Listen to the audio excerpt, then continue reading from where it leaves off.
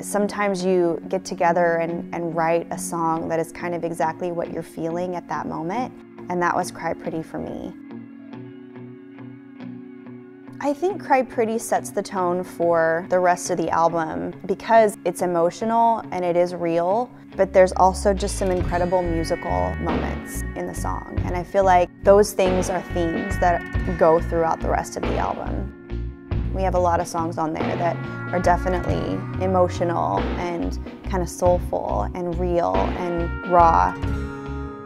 There's so much love and care and heart that has gone into writing these songs, putting music to these songs, and everything has been done in such a careful and loving way.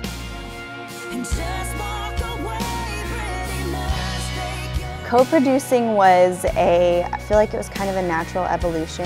I had been working with David Garcia on the writing side of things and we just really hit it off. The first song that we wrote together is on the album, so it was kind of like, I like this guy, write with him again, and there's certain chemistry that comes together when there's a band there and everybody feeds off of each other. And we got a lot of guys that I had worked with before and some that I hadn't, and like everybody brought it.